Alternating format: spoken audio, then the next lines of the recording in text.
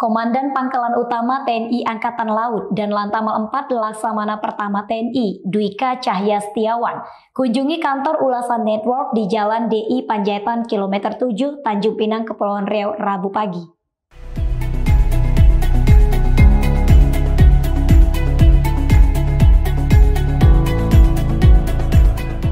Dan Lantamal 4 Tanjung Pinang beserta rombongan datang sekitar pukul 10 lewat 40 waktu Indonesia Barat tersebut disambut baik oleh Ulasan Network.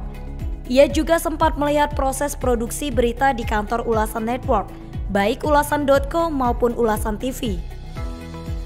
Dwika mengatakan, kunjungannya kali ini untuk mengenal lebih jauh tentang tata cara kerja di media massa, sekaligus bersilaturahmi dengan para pimpinan maupun kru Ulasan Network. Menurutnya dengan adanya sinergitas Lantamal 4 dengan ulasan network dapat memberikan informasi yang baik dan akurat kepada masyarakat khususnya tentang kinerja TNI Angkatan Laut.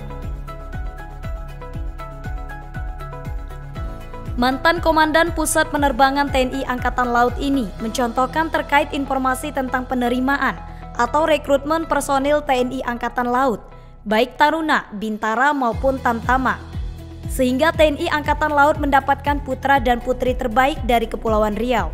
Kita hari ini. Nah, terima kasih sebelumnya uh, kami sudah diberikan kesempatan untuk hadir di sini terkait dengan uh, keinginan Antamal untuk bekerjasama dengan para mitra-mitra atau uh, kawan-kawan dari media khususnya kami mengajak media untuk membantu kita juga mengenalkan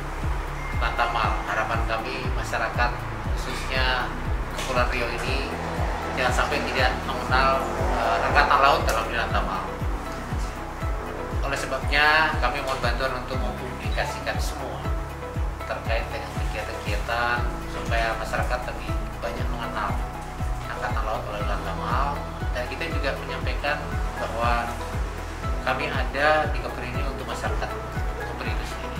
Sehingga manfaatkanlah kami oleh masyarakat dengan apa yang kami miliki, tugas-tugas kami, ya, fasilitas kami, sarana kami untuk masyarakat Di akhir kunjungan dan Lantamal sempat memberikan cindera mata kepada pimpinan Ulasan Network.